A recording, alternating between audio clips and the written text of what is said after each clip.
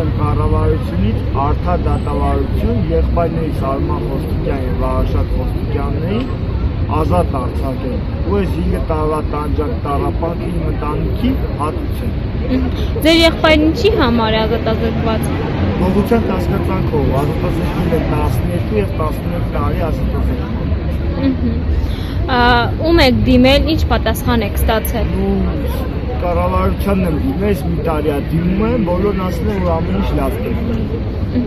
Դեռևս հստակ որևէ խնդիր չի լուծվել։ Դեռևս այո, որևէ խնդիր չի լուծվել։ Իսկ ինչ ձևով եք փորձում ձեր հարցը բարձրացնել։ Հարցս բարձրացրել եմ թե նամակների տեսքով, թե անձամբ մոտիկացել եմ Նայիրի Սարգսյանին եմ հանդիպել, վարչապետին եմ հանդիպել,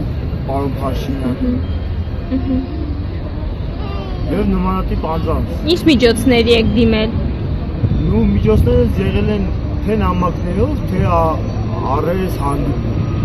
թե դատավորների։ Նկատի ունեմ ջրադուլ եք արել, հացադուլ եք։ Հացադուլ եմ արել անցած տարի։ Որից հետո իմ հետ խոսել են, ես նո ասել ամեն ինչ լավ կլինի։ Խոսանք, ես գնացել եմ։ Հիմա նորից եկել եմ։ Մայիսի մայիսի 27-ին է եկել, բայց դուրս եկա հարգելի պատճառներով, քանի որ վարշապետի ծնունդն էր մոտիկան 91-ին, դուրս եկա չփչացնելու, չփչացնելու համար, հիմա նորից եկել եմ։